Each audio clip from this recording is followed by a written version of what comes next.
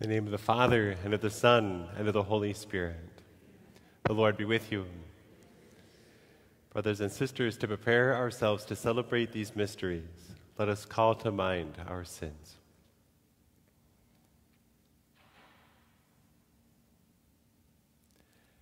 Lord Jesus, you raise us to new life. Lord, have mercy. Lord Jesus, you forgive us our sins. Christ, have mercy. Lord Jesus, you feed us with your body and blood. Lord, have mercy. May Almighty God have mercy on us, forgive us our sins, and bring us to everlasting life. Amen. Let us pray.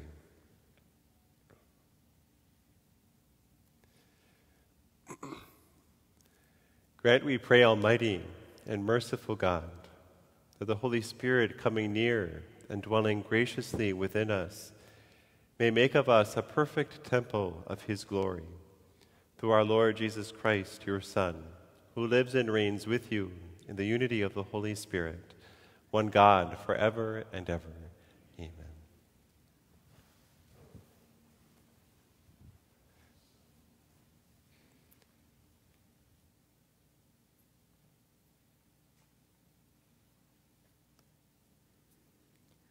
A reading from the Acts of the Apostles. From Miletus, Paul had the presbyters of the church in Ephesus summoned, and when he came to them, he addressed them You know how I have lived among you the whole time from the day I first came to the province of Asia. I served the Lord with all humility and with the tears and trials that came to me because of the plots of the Jews, and I did not at all shrink from telling you what was for your benefit or from teaching you in public or in your homes. I earnestly bore witness for both Jews and Greeks to repentance before God and to faith in our Lord Jesus. But now, compelled by the Spirit, I am going to Jerusalem. What will happen there, I do not know, except that one city after another, the Holy Spirit has been warning me that imprisonment and hardships await me. Yet I consider life of no importance to me, if only I may finish my course and the ministry that I received from the Lord Jesus to bear witness to the gospel of God's grace. But now I know that none of you to whom I preached the kingdom during my travels will ever see my face again. And so I solemnly declare to you this day that I am not responsible for the blood of any of you for I did not shrink from proclaiming to you the entire plan of God. The word of the Lord. Sing to God, O kingdoms of the earth. Sing to God, O kingdoms of the earth. A bountiful rain you showered down, O God, upon your inheritance. You restored the land when it languished, your flock settled in it. In your goodness, O God, you provided it for the needy. Sing to God, O kingdoms of the earth. Blessed day by day be the Lord, who bears our burdens, God who is our salvation. God is saving, is a saving God for us. The Lord, my Lord, controls the passageways of death. Sing to God, O kingdoms of the earth. Alleluia, alleluia. Alleluia, alleluia. I will ask the Father, and he will give you another advocate to be with you always. Alleluia, alleluia.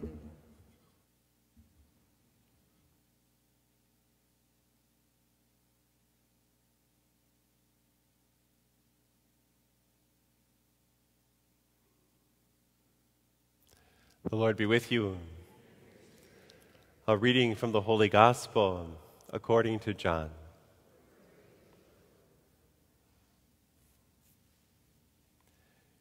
Jesus raised his eyes to heaven and said, Father, the hour has come.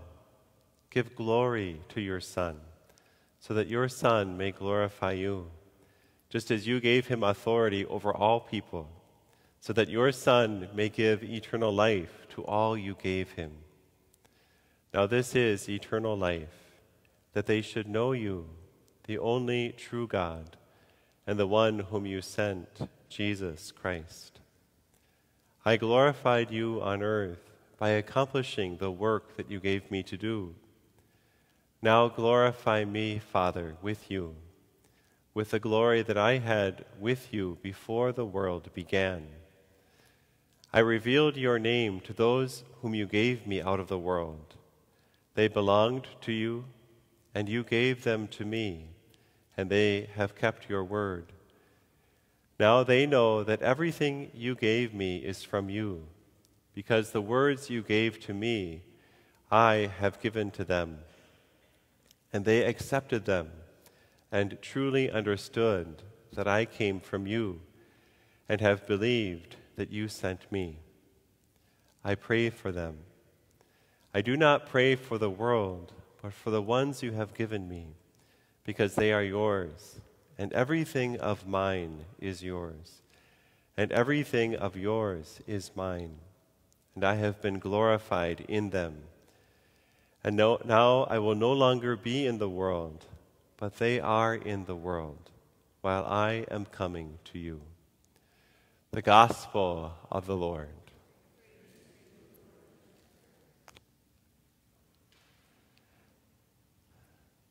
Listening to this beautiful prayer of Jesus to his Father. And I love this line. It struck me this morning because we don't, we don't always think of it. It's Jesus saying, I pray for them. Of course, what he's saying here is he's praying for all of us. And we don't always think about that. You know, we think, well, we have to pray to Jesus for, for help, receive deeper help from him. But here he is revealing for all of us that he is eternally interceding for each of us before the Father. And, it's, and his prayer, of course, is much more beautiful than ours. It's, it's, and the Father looks upon his prayer as one of the greatest gifts, not one of the greatest gifts, as the greatest gift in return to him. Um, as G- Jesus is making that return to him, always praying for us. And in a way, it's for us just to give I mean, there's, it's more, but it's, it's for us to give into that beauty, that, that wonder that, of what Jesus is doing. And it goes a little bit further as well because of our, our closeness to Jesus, our deep unitedness with Him. When we are inspired to offer prayer, we're, we're really doing it in union with Jesus. So when we, when we offer our prayers, it's not just when we offer our petitions, especially, it's not just us doing it alone, but it is us joining our voice to the voice of Jesus as he proclaims before the Father. That's part of the gift of our baptism. That's also part of the gift of the Eucharist when we are fed, made, made more deeply in union with Jesus. And just for our, for our prayer practice, it's important, like, just to ask the Lord, give me the desire that you want me to pray for so that we can be more and more united, more and more united in that prayer before the Father. But Just to go back to that first truth, Jesus is praying for us right now and for the whole world, for all that the Father has given to him. Let's stand together and offer our prayers to our Heavenly Father.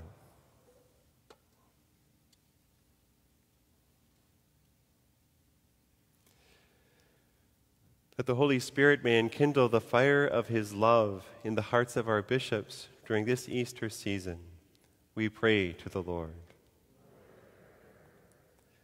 That judges and magistrates, whose decisions affect the lives of many, may be guided by the Holy Spirit in embracing principles of fairness and mercy, we pray to the Lord. For peace and justice in our cities and an end to violence, we pray to the Lord. That Jesus may keep us faithful to God's call to serve Him in our relationships with family, neighbors, friends, and strangers, we pray to the Lord. And for all of those who have died, especially for Rita Miller, for whom this Mass is being offered, May they rejoice in the presence of God in the eternal life given by Christ. We pray to the Lord. Heavenly Father, everything that is yours, you have given your Son. Hear and answer the prayers we offer today through him who is Christ our Lord. Amen.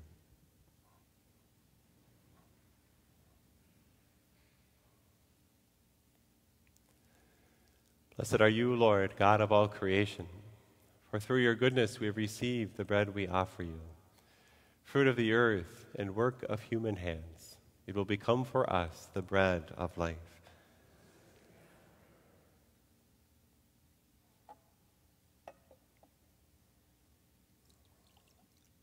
Minister this water in mine, but we come to share the divinity of Christ. Open us up to share in our humanity.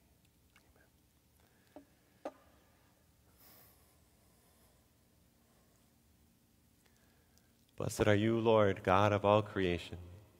For through your goodness we have received the wine we offer you, fruit of the vine and work of human hands. It will become our spiritual drink.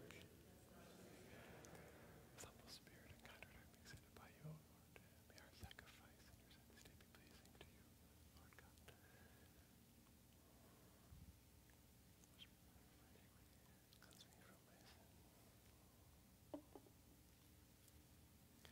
sin. Pray, brothers and sisters, that my sacrifice and yours may be acceptable to God, the Almighty Father.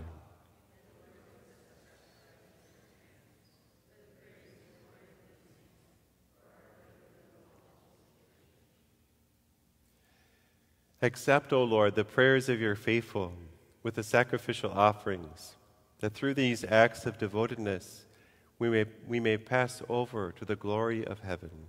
Through Christ our Lord. Amen.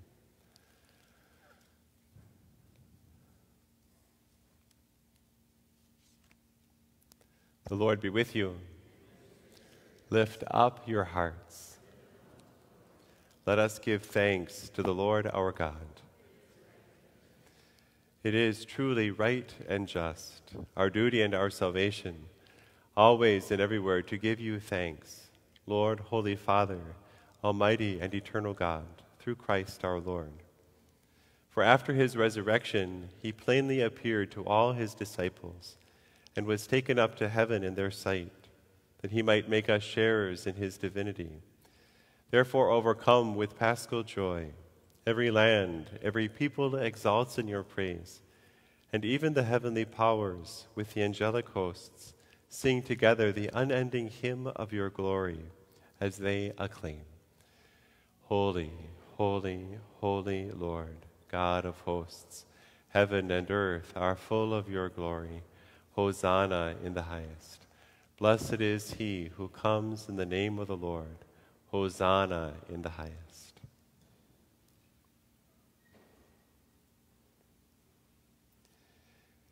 You are indeed holy, O Lord, the fount of all holiness.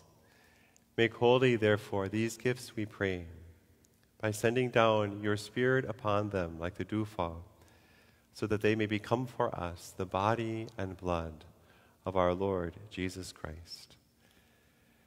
At the time he was betrayed and entered willingly into his passion, he took bread and giving thanks, broke it, and gave it to his dis- disciples, saying, Take this, all of you, and eat of it, for this is my body, which will be given up for you.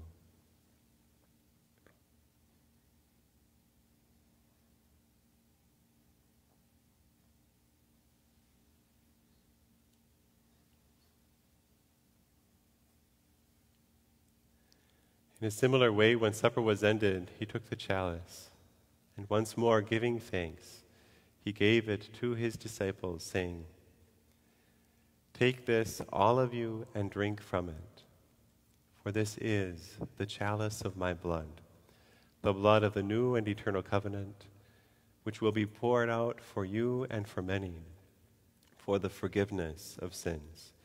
Do this in memory of me.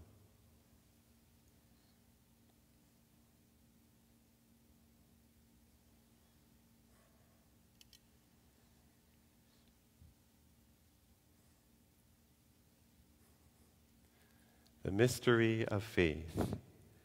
We proclaim your death, O Lord, and profess your resurrection until you come again. Therefore, as we celebrate the memorial of his death and resurrection, we offer you, Lord, the bread of life and the chalice of salvation. giving thanks that you have held us worthy to be in your presence and minister to you. Humbly we pray that partaking of the body and blood of Christ, we may be gathered into one by the Holy Spirit. Remember, Lord, your church spread throughout the world and bring her to the fullness of charity, together with Francis, our Pope, and Bernard, our Bishop, and all the clergy.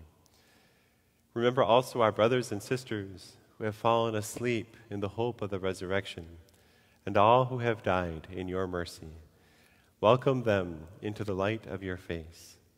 Have mercy on us all, we pray, that with the Blessed Virgin Mary, Mother of God, with Blessed Joseph, her spouse, with the blessed apostles, and all the saints who have pleased you throughout the ages, we may merit to be co heirs to eternal life, and may praise and glorify you through your Son Jesus Christ.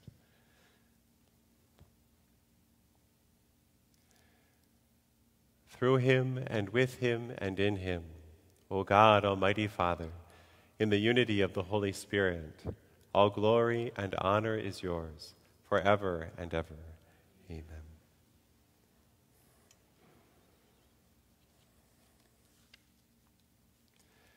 At the Savior's command, informed by divine teaching, we dare to say, Our Father, who art in heaven, hallowed be thy name. Thy kingdom come, thy will be done, on earth as it is in heaven. Give us this day our daily bread, and forgive us our trespasses, as we forgive those who trespass against us. And lead us not into temptation, but deliver us from evil. Deliver us, Lord, we pray, from every evil. Graciously grant peace in our days, that by the help of your mercy we may be always free from sin and safe from all distress, as we await the blessed hope and the coming of our Savior, Jesus Christ.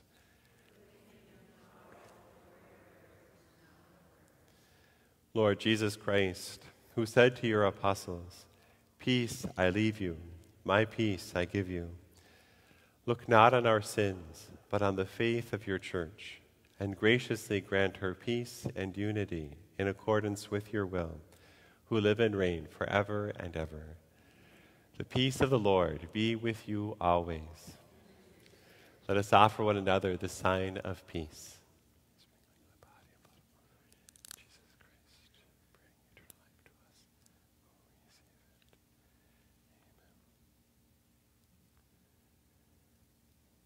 Lamb of God, you take away the sins of the world. Have mercy on us. Lamb of God, you take away the sins of the world. Have mercy on us. Lamb of God, you take away the sins of the world. Grant us peace.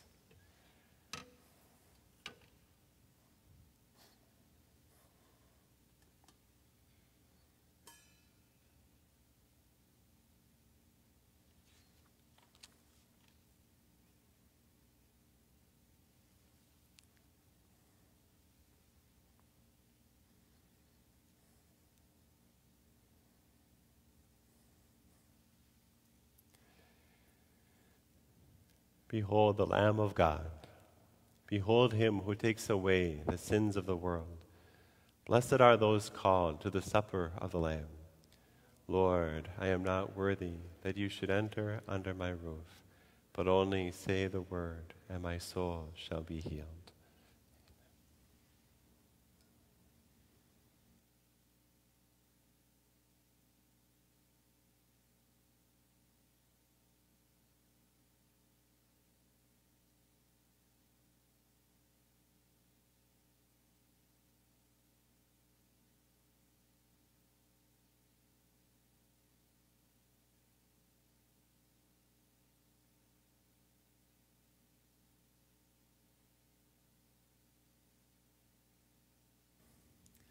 We'll pray our spiritual communion prayer.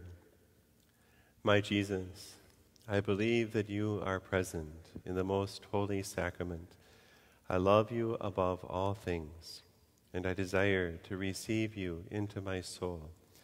Since I cannot at this moment receive you sacramentally, Come at least spiritually into my heart. I embrace you as if you were already there and unite myself wholly to you. Never permit me to be separated from you. Amen.